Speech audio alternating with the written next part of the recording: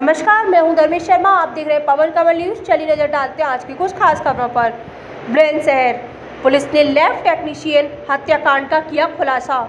Lab संचालक ने वेतन मांगने पर अपने ही अन्य साथी से कराई थी टेक्नीशियन की हत्या। पुलिस ने लैब संचालक सत्येंद्र सिंह और उसका साथी बबलू को किया गिरफ़्तार, तमंचा बरामद। चांदीपुर, चुंगी के पास ब्लड टेस्टिंग लैब पर हुई थी घटना।